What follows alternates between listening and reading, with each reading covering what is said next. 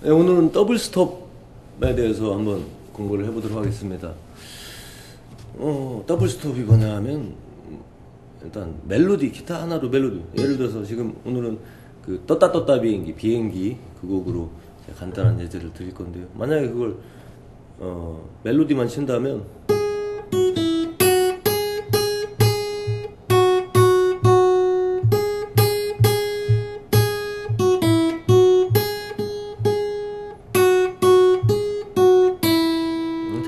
있겠지만 재미가 없잖아요. 그리고 음악 같지도 않고 그냥 멜로디만 빼 빼레빼레 하는 것 같고 어, 그걸 좀 더 음악적으로 화성적으로 어, 리듬과 화음과 멜로디가 다 있는 그런 음악을 좀 완성해 보는 수 있는 방법 중에 아주 대표적인 방법이 double stop인 것 같아요. double stop 말 그대로 음을 두 개 음악 음 이상을 이렇게 써서 화음을 만들어 주는 거죠. 자, 연주 한번 해볼게요.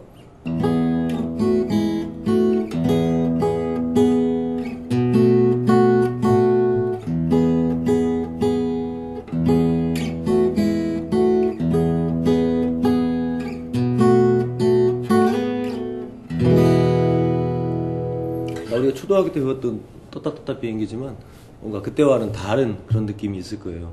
느낌이 부여가 되는 거죠. 예, 화음을 통해서. 자, E 코, 이건 E, E major key에서 제가 연주를 한 건데, 자, 여기 떴다 비행기. 이건 B 코드, 그죠? B7 코드, 이렇게. B7 코드에서 나오는 stop이 되는. double stop이라고 하는 게 결국 아무 음 두 개를 누르는 게 아니라 코드를 바탕으로 해서 어, 화음이 맞는 그런 음들이 있다고. E 코드에서 떴다 떴다 비행기 떴다 떴다 E 코드를 이렇게 잡을 수도 있지만 자 우리가 E 코드 이렇게 잡을 수 있습니다. 왜 이렇게 잡을 수 있을까요? 자 D 코드 이렇게 잡을 수 있죠. D에서 그대로 반음 한음 올려서 잡으면 이게 E 코드가 되는 거죠. 이건 F가 되는 거고 이게 G. 자 이런 코드를 바탕으로 해서 코드의 그런 연계들을 우리가 어, 알아야지 이게 편안하게 double stop이 이루어질 텐데.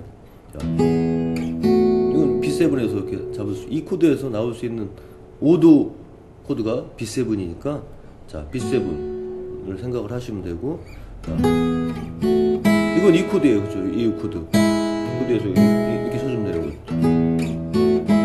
E, E, 그 다음에 B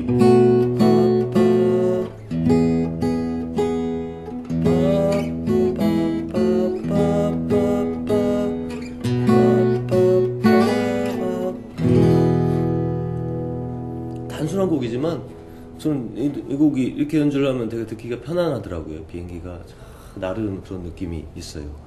자, 다시 한번요. 천천히 해볼게요.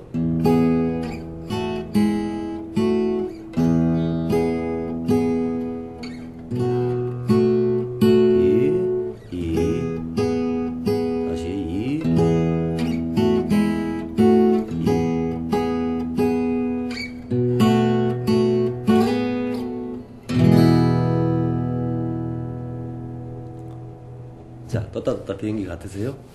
단순한 곡이지만 한번 해보면 이것도 어, 연주곡으로서 아주 매력 있는 곡이 될 수 있을 것 같아요. 감사합니다.